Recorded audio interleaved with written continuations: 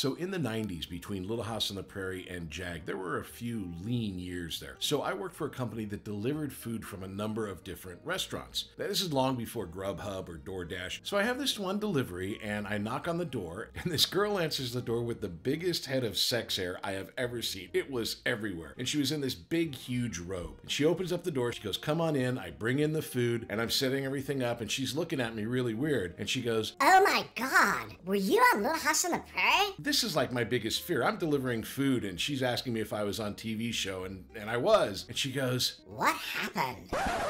Well, now I'm about three inches tall. I don't have any witty comeback. I just kind of stare at her and go, I just needed a job. And now her partner comes down the stairs at this point, and apparently he's in her robe because it is just barely covering whatever this man has. But I recognize him, and it's Joe Walsh. So the girl points to me and then turns to Joe Walsh and says, Oh my god, Joe, the guy delivering our food, he used to be on Little House on the Prairie. Now I'm like an inch tall. So Joe Walsh looks at her, looks at me, and he says very plainly, I used to be in the Eagles.